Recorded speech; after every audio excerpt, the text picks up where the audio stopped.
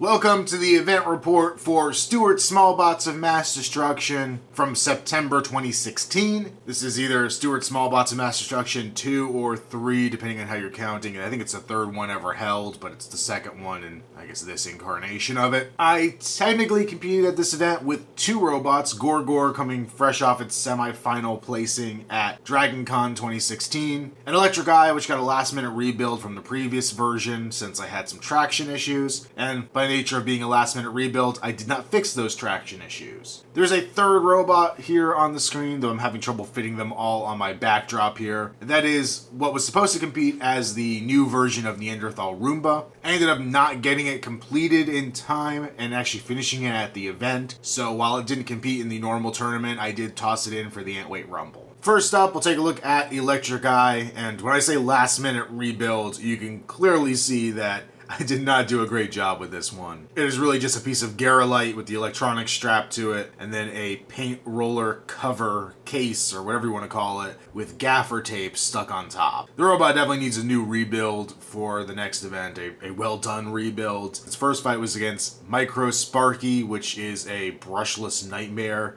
I think it's two outrunners that are just running as the wheels, and then another outrunner powering a weapon blade. And Micro Sparky got right into the sensitive bit right up here in front where the fork is, and you can actually see the electrical tape here on these connectors. He sawed right through those connectors and unplugged my battery, leading to a pretty instantaneous loss. Electric Eye's second fight was against Mustachio, which is one of the Team Busted Nuts Robotics 150 gram bots. They seem to have about half the field at any event lately with these guys. They let one of the kids from the audience drive the robot, and I was doing okay. I was able to get under them. I was able to flip them over a few times, even though the fork wasn't really doing it because I had some weight distribution issues and the robot was really tipping forward every time I tried to lift, which would end up being the source of my demise. I got knocked over on my back, and from what I can tell, I think I tried to flip the robot back over, but went the wrong way with the lifting arm, or went too far with the lifting arm. It's just on a motor, so it can go theoretically 360 degrees, and it's obviously limited by the structure of the robot itself. And it went too far back. There's a little screw back here on the hub for the motor that got caught on the frame itself, and then it got caught on some wires as well. So Electric Eye ended up upside down with the fork pointing straight down, which is not a configuration it's supposed to be in. And I could spin the wheels, I could wobble the fork back and forth, but I wasn't able to get it to right itself. So that ended up being my second knockout of the day with Electric Eye. If there was 150 gram Robot Rumble, I missed it, but I don't think one ever actually happened. And honestly, it's probably for the better because I don't think this design would have worked too well with that. As I already mentioned, it had traction issues on the previous version because there wasn't much weight over the wheels. Here, it kind of high-centered itself pretty easily and you can kind of see why. The design's just overall not particularly good. I have plans for the new version of it I do want to keep with this setup because I really like the lifting fork especially for 150 gram bot. I just gotta get the bugs taken out of it. So on to the really fun one, Gorgor. Gorgor has gotten beat up at events before. The first version got shredded by Best Korea up at Clash of the Bots earlier this year. The second incarnation, the last Stuart Smallbots of Mass Destruction, got pretty beat up by Trilobiter, though it was pretty much still working after that. I honestly don't even know why it died in that fight. Everything seemed to still be operational. Though I did find when I rebuilt it for Dragon Con that there were a few places where I hadn't been quite so meticulous with the wiring and motors and other things were shorting to the frame. So it could just have been something like that was exposed and it just locked up my electrical system. But after the Dragon Con rebuild, I was pretty confident that had been taken care of. I had Loctited a lot of things together. I had made sure this robot was about as solid as it could get. The only real piece that wasn't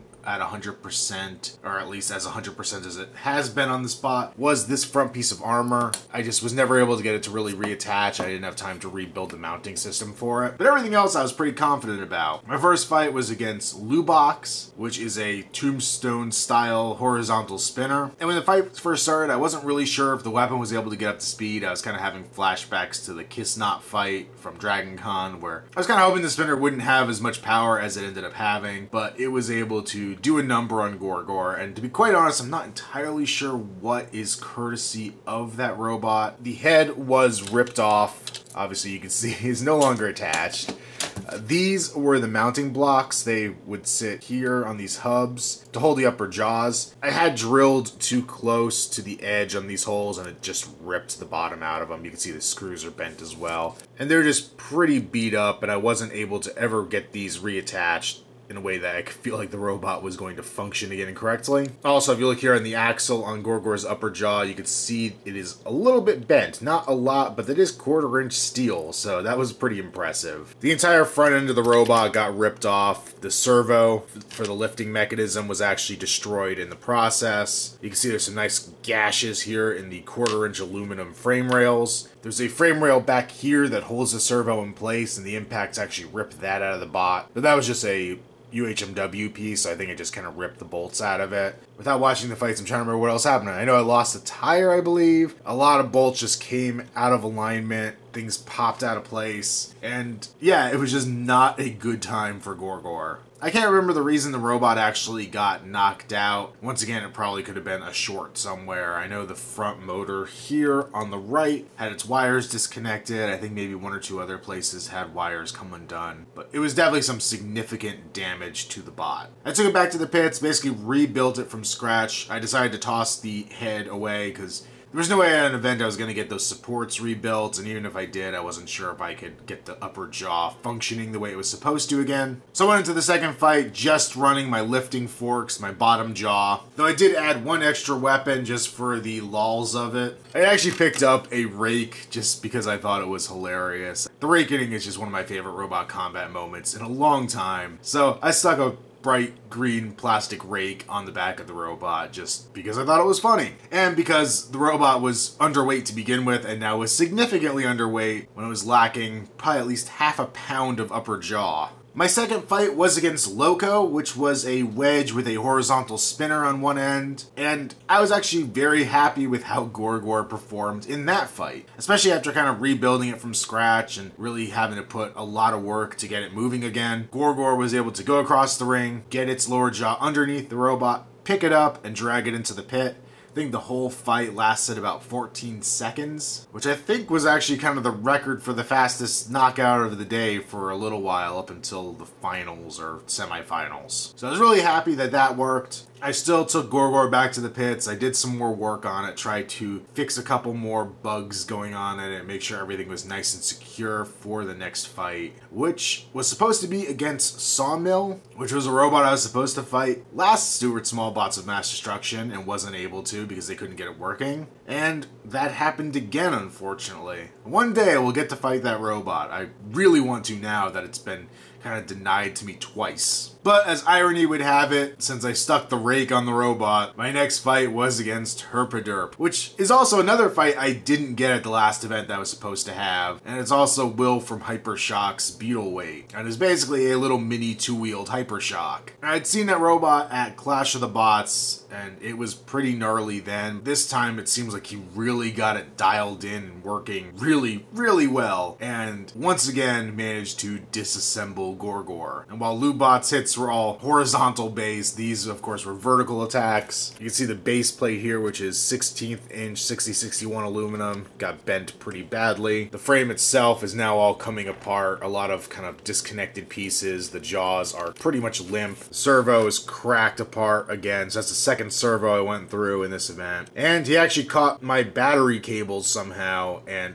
ripped them straight out of the battery, which was awesome. And that's what did Gorgor in this fight without battery connection, of course, there was no way it was going to keep going. It was a pretty quick and pretty spectacular knockout. I didn't even bother trying to get Gorgor working again for the Rumble. It was just way more work than I wanted to put into it. Plus, I was already planning to completely rebuild this robot. I have ideas for a more precise version of it, hopefully a more durable version of it. At this point, I just didn't really feel like it was worth the time to try to rebuild it and get it working again. And last but not least is Neanderthal Roomba, which is a robot I built Thursday night before the event mostly, and then finished and got actually running at the event itself. It didn't compete in one-on-one combat, but it did enter the one pound rumble, where it didn't do particularly well because this wedge is a little too low and got stuck in the seams everywhere in the arena. I got stuck in the wall two or three times, and I got stuck in the center of the floor at the very end of the fight. I think in the wall again, actually, at the very end of the fight. Part of the problem was also that I only had one motor working. Originally, that was the reason why the robot didn't compete, was because I could only get one drive motor working. They were both actually spinning, but one just wasn't engaging. I found out when I went and opened up the motor that the pinion on the brushless motor was set in too deep and wasn't actually engaging with the gears in the gearbox, so I did fix that. But what I forgot was that the radio connectors, and I never felt like I had this problem back when I was building years ago. It feels like a recent like cheapness in parts. But the cables, the PWM cables that go into the receiver don't seem to stay in. You actually have to glue them in place to keep them from just sliding out on their own. And I forgot before throwing it into the rumble that I needed to glue them down and fix it. And by the time I got in the box and realized that I wasn't able to control one of the motors. It just didn't seem worth it to waste everybody else's time while I went and got a screwdriver and opened this thing up and glued the cable down and all that garbage. But I did have it running in the pits previously, and this thing was really squirrely. I might have to mess with the firmware a little bit to get these brushless motors working the way I want them to, because one of the motors seemed to lag when going forward. So if when I had mixing on, if I hit up on the control stick, it would basically turn and then eventually kind of drift, which definitely isn't good, especially with a push bot. I ended up moving the cables since I already have spring return on my left stick anyway. So I decided to use two stick drive, which made it a little easier to control so I can kind of not go all the way with the right stick and give the left stick a little more power. But I let a couple other people test drive it too, just to see what I was talking about, and they agreed it was a little strange to drive.